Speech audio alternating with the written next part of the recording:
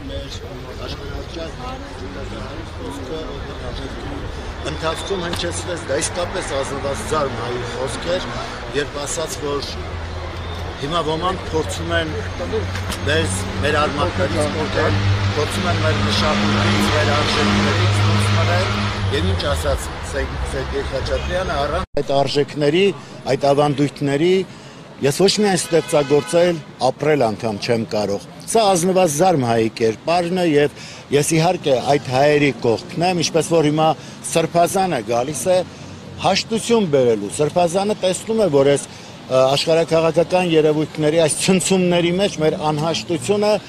մեր դեմ կարող է օգտագործվել եւ հիմա ամեն ինչ անում է որպեսզի այդ ներքին խռովություններն էլ վերացնի եւ ավելի բարձր արժեքների կողք մեզ մեզ շուրջ մեզ համախմբի։ Իսկ մեծագույն արժեքը այո, մեր պետականությունն է, մեր ինքնությունն է, մեր մշակույթն է, Եվ նրանք, ովքեր թույլ մշակույթներ ունեն, վերանալու են, նրանց ում կարողանում են արմատից փոկել, վերանալու են, եւ նրանք, ովքեր կարողացել են իրենց մշակույթը բարձր պահել, իսկ մենք ունենք իսկապես համաշխարհային մշակույթ ունենք եւ այս օրերին էլ գիտեք մեր աչքի առաջ այդ հզորները կային, ես իմ սերունդին նկատի ունեմ, ես ձեր սերունդը նրանց ստեղծածներն է վայելում, ասենք Հրանտ Մաթեոսյանի պես հսկան, որի ոչ միայն գեղարվեստական գրքերը, այլև այդ հրաապարակային նյութերը շատ կուզեի, որ մեր հայրենակիցները ժողովուրդները թերթեին, տեսնեին, նա այս ամբողջ ժամանակաշրջանը նկարագրել է, նա ամեն ինչ արել է, որպեսզի հայի մեջ արտնացնի իր ինքնությունը։ Ցավոք այսօր գիրքը մի տեսակ օտարվել է, մենք գնում ենք էժան հիհի հահաների եւ այս ամեն ինչը վերում է մի քիչ տխուր բան ասեմ, բայց այո, մարդու մեջ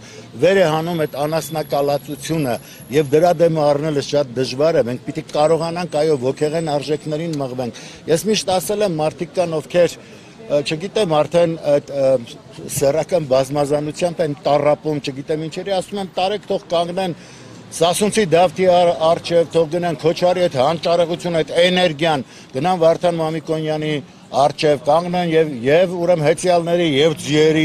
այդ հզորությունը թող փոխանցվի Մարտիրոս Սարյանի կտավների արջև մենք մեր մշակույթը ապրեցնող ուժ է մենք պիտի կարողանանք դրանից օգտվել զորանալ եւ առաջ անցնել նրանք ովքեր իրենց ինքնությունը պահում են շեշտակիորեն կարողանում են տեր լինել իրենց երկրին եւ կարողանում են թելադրել ինչքան էլ զարմանալի է իրենց ավանդույթներին տերեն տեսեք մեկը շատ խելացի բան ասաց ասաց եթե մեր վեհապար հայրապետը ասի հրավիրում եմ հայ ժողովուրդ թեյախմության, մի մասը կասի տեսնես ինչի է հրավիրում, տեսնես ինչ հարց կա, իսկ եթե այնտեղ մոլան ասի, եկեք մի հատ փոս պիտի փորեք, բոլորը կգան կփորեն։ Այսինքն տեսեք տարբերությունը այս փոքրիկ էպիզոդով ես փորձեցի տալ։ Այո, ես ուզում եմ այդ համախմբումը լինի եւ տեսնում եմ, որ եկեղեցին այն ուժն է, որի շուրջ մենք կարող ենք համախմբվել, որովհետեւ դարերով այո կարողացել է մեր ինքնությունը պահպանել, եկեղեցիները մեր վանքերը նաեւ դպրանոցներ են եղել, ուսուցանել են եւ հիմա էլ նրանք իրավունք ունեն եւ մանավանդ Բագրատ Սրբազանը ով իր ապրած կյանքով, իր ոգեղենությամբ, հաղթականությամբ, հայրենասիրությամբ, մարդասիրությամբ, ազգասիրությամբ